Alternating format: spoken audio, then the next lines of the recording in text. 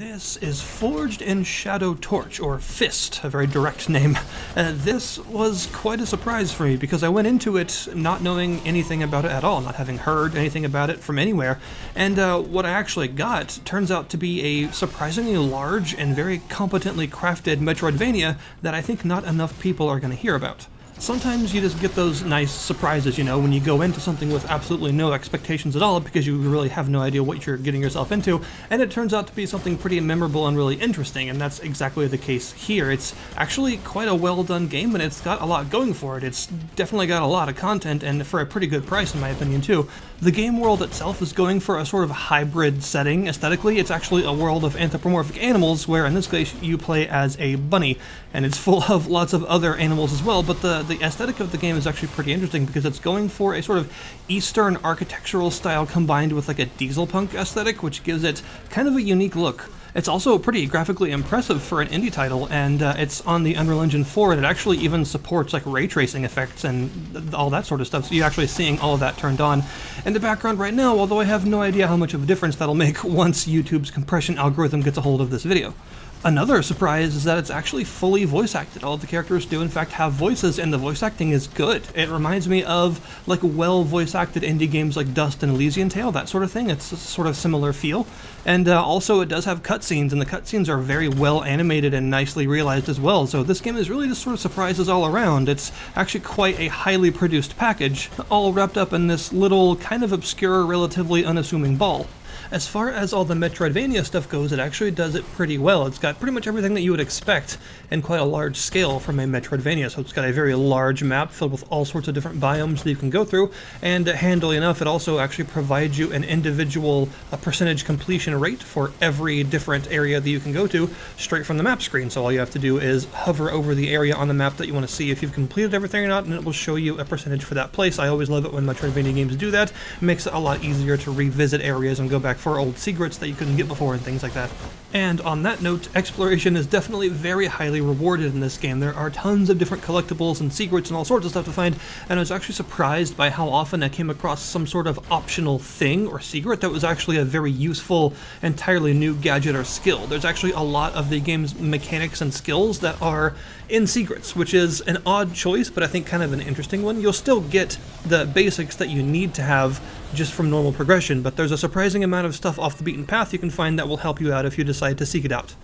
So you can find all sorts of things from plant seeds, which you can turn in uh, at an NPC to get lots of money and some other rewards, including some upgrades to your character and even an upgrade to your healing item, so it's very much worthwhile to grab those whenever you can not just for the money. You can also find lots of optional bosses all around the place that will give you some extra cash and sometimes other upgrades for beating them, which is always cool to sort of stumble upon.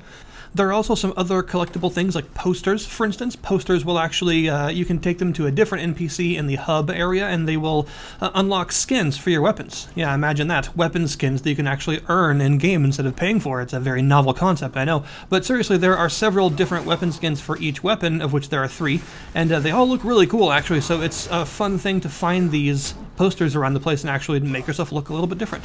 You have several different resources to juggle around besides just your health. You also, of course, have money that you mostly use to either buy some things in town or to upgrade yourself at the uh, save points, which we'll get into in a little bit. There's also an energy gauge at the bottom left of the screen. It's just called EP energy points, these little orange segments, and you use those to power your various gadgets. There are four different gadgets you can find, at the most basic of which that you'll always have is your healing flask, which works basically like an Estus flask. It's a charge-based healing item, the charges of which are replenished when you go to checkpoints, and uh, it takes a second to actually use it. So if you're in like a a tough boss fight or something, you have to memorize the attack patterns enough to be able to know where you can stand safely long enough to actually get a drink from it and that sort of thing that you would expect from a sort of Estus-like healing system, along with the extra twist that the energy you use for it, the charges are also charges for all of your other gadgets, including a homing missile launcher that you can use to uh, supplement your damage at range, which is actually quite nice because your main weaponry is all melee based, so having a ranged option is worth the energy expenditure in some cases because some uh, enemies are very dangerous to approach depending on what they're doing.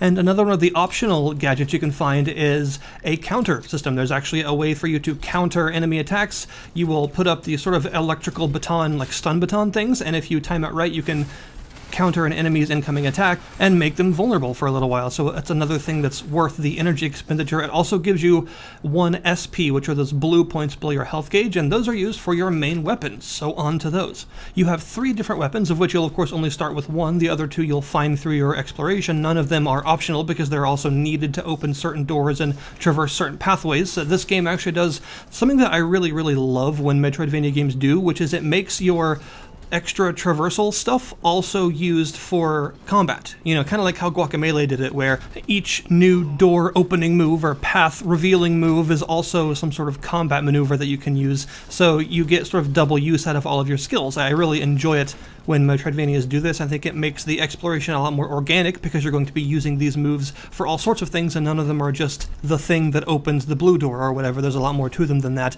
And this game does actually do that quite well because each of the weapons has, of course, lots of combat usage and also some sort of a specialized use that allows you to traverse new paths you have the actual big fist thing itself, big huge robotic hand, that has a lot of slow but very powerful knockback attacks. It can also do some pretty fun air combos. It can throw things around, and that's actually one of its main traversal features as well, as the ability to pick stuff up and throw it or carry it around, stuff that's too heavy for you to carry yourself.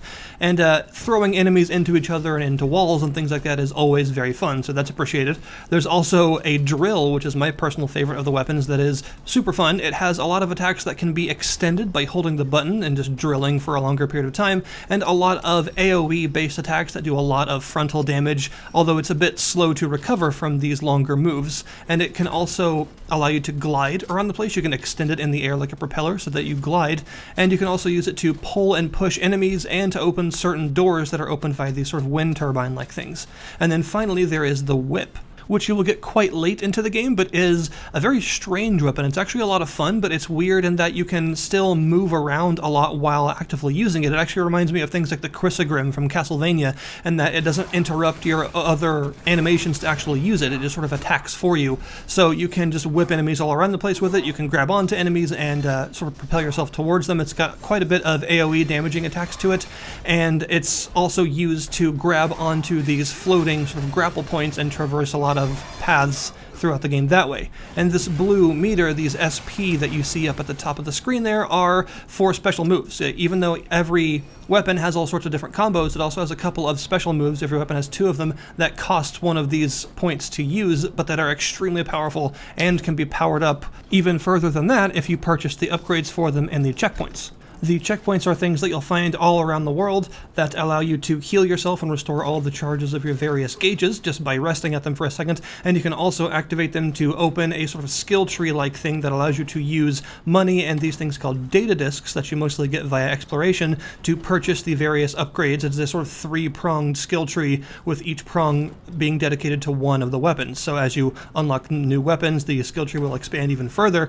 You can also go back to the hub area that I mentioned earlier and train train with a uh, martial arts master who will teach you some of the more advanced combos in the game, which I really recommend because the fighting system in this game is actually quite complex for a Metroidvania. And uh, as you complete his challenges, he will unlock even further nodes in the skill tree that allow each weapon to become as powerful as possible. Uh, because of all this, this game is actually a very heavily combat-focused Metroidvania, which is somewhat unusual, but the combos that are possible with your weapons are all really satisfying and a lot of fun to actually figure out. There's some pretty advanced combo stuff here that will be familiar to you actually if you've played like a Spectacle Fighter, that sort of game. It's actually more similar to something like that than a traditional Metroidvania. You can even switch weapons mid-combo to extend them and open up even more possible moves. Some of the combos are actually pretty hard to pull off and require a lot of purchased upgrades to get all of the various attacks and skills required to use them all unlocked. But once you do really uh, get all the weapons available and sort of invest in each skill tree to unlock as many moves as possible, the combat gets actually noticeably complex and really fun to pull off.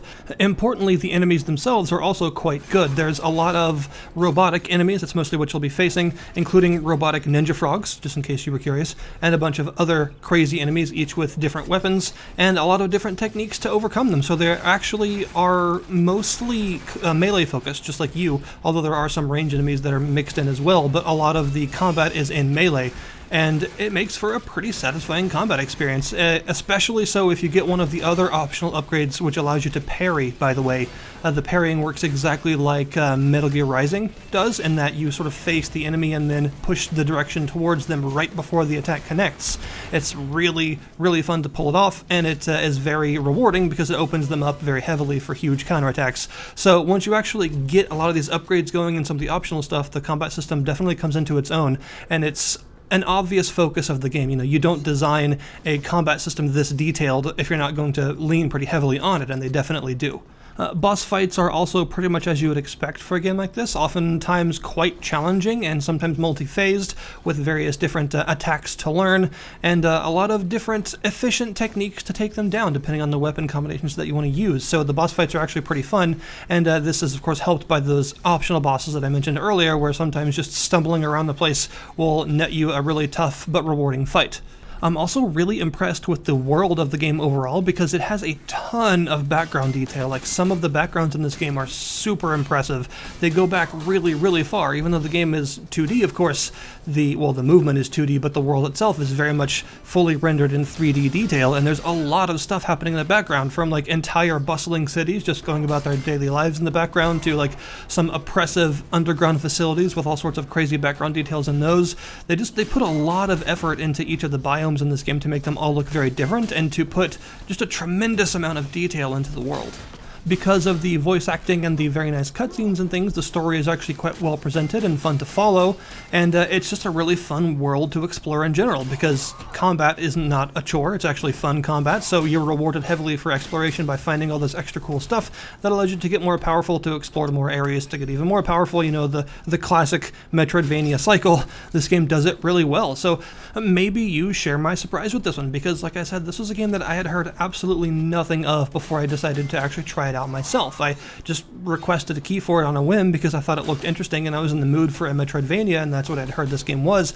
And it turns out to be a really competent one that's actually quite good and has really fun combat and stuff. And there's a lot of love that's obviously been poured into this, and I just I didn't expect any of that. So do uh, check out the links in the description below this video to the Steam store page if you wish to check it out yourself. It's actually only 30 bucks, which I would say is a pretty good price for a Metroidvania of this size and complexity.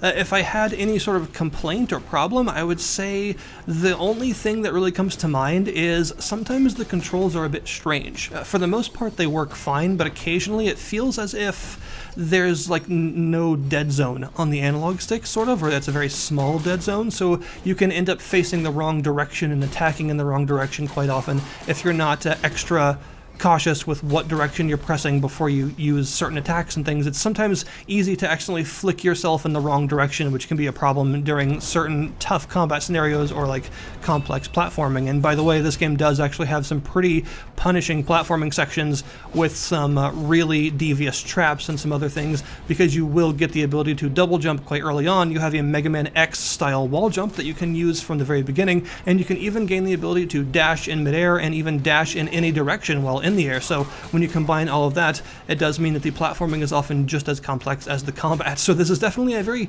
uh, fully featured package that's actually surprising in its overall scope and complexity, and I was very pleasantly impressed to, to play through it myself. So thank you guys very much for watching. Check it out if you wish, and I'll see you next time.